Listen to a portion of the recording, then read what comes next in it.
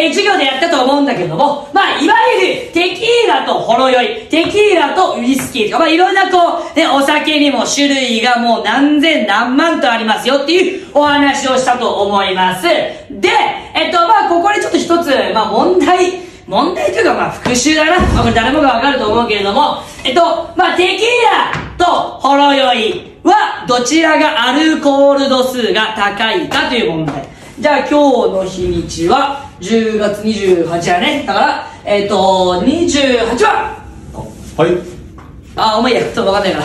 えっと、じゃあ他の、どうしようかな。じゃあ10足す28で38番。誰 ?38 番。お前か。はいはい。どっち？テキーラか、俺。テキーラだと正解そうテキーラがまあ大体えーとちょっとねごめん詳しく分かるけど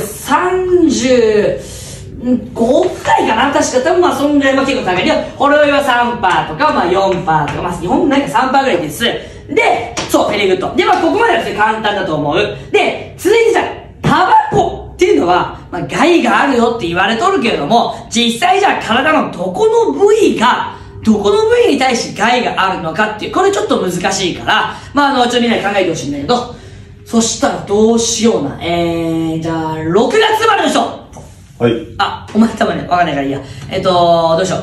えー、どうしようかな。うーん、はい、お前。どう？どうしようちょい、行ってきな。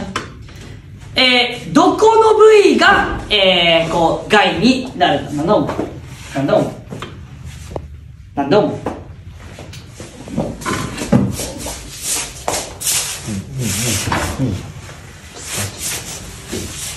なんだお前。先生さあ、俺この冬休みさ必死に勉強してさ TOEIC89 点取ったんだよ、見てみろよなんだよさっきからさお前がはいい9、お前が989点。笑わせんな。お前が取れるはずねえだろ、お前。はいこれは何？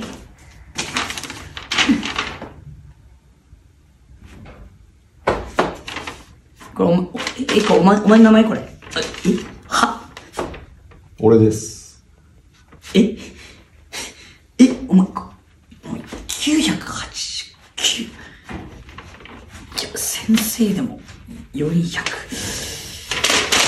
おいおいは何やってんだおいお前何はお前嘘だカンニングしただろしてねえカンニングしたから、俺がこれを証拠隠滅で、えー、証、証拠をもなくします。